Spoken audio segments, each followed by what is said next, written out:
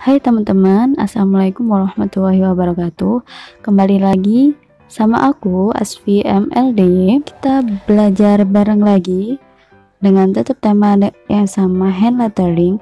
Tapi kali ini kita pakai kapur tulis. Papan yang aku pakai ini berukuran 40 x 50 cm Dan kapur tulis yang aku pakai ini Mereknya produk dari Giotto yaitu Giotto Rubber Color. Sebelum kita mulai, kalian bisa klik tombol subscribe, like, dan share ke teman kalian yang pengen belajar tentang hand lettering. Nah, sebelum kalian menggambar, kapurnya harus di cutter, dipotong seperti ini agar kalian nulisnya menjadi lebih mudah. Apalagi untuk garis-garis yang tipis.